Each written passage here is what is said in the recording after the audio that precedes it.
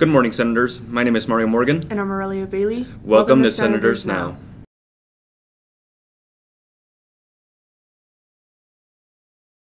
Fall Cheer is now open and register my athlete for school year 2022 through 2023. Registrations will close on April 22nd, 2022. Tryouts are scheduled for April 27th, 2022.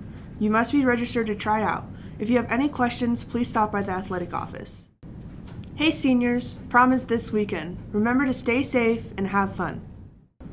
Hello, travelers and curious people. We are proud to announce our summer 2024 trip to Japan. If you have ever wanted to see Japan, now is your time to sign up. With over two years to pay for the trip, it's easier than ever to live the dream of seeing Tokyo, Kyoto, Osaka, and Hiroshima. We're going all over the country, from spending an afternoon in an insane indoor VR theme park to taking in the sights of Tokyo and riding the bullet train. You'll experience Japan like you never imagined. You'll see castles, temples, and national parks and visit the historic and moving site of Hiroshima, the first place humans used nuclear weapons on other humans.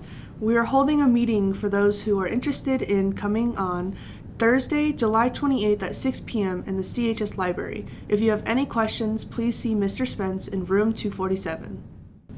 The yearbook is completed. We added 40 pages this year. Be sure to purchase the yearbook soon. Like last year, we're going to sell out this year. Go to yearbookforever.com or Student Finance to purchase your yearbook. Student Council is looking to fill three positions for next year's junior class. They need a junior class secretary and two class representatives. Junior class is also in charge of putting on Winterfest and many other fun activities throughout the school year. If you are interested, please see Ms. Campbell in the library for more information.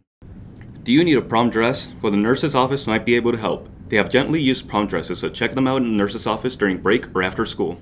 This week's senior in the spotlight recognizes Hunter Mathis, one of Carson High School's most accomplished students. He currently has a GPA of 5.025 and will have successfully completed seven AP and numerous honors classes upon graduation.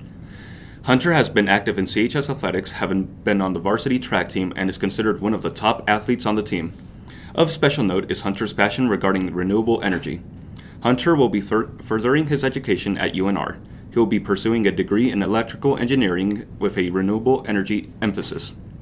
We are proud of the contributions Hunter has made to the Carson High and our community, and it, we are looking forward to the impact his talented student will have on the future of energy. CHS wishes him the best of luck. That's it for today's announcements. Thanks, Thanks for, for, watching. watching.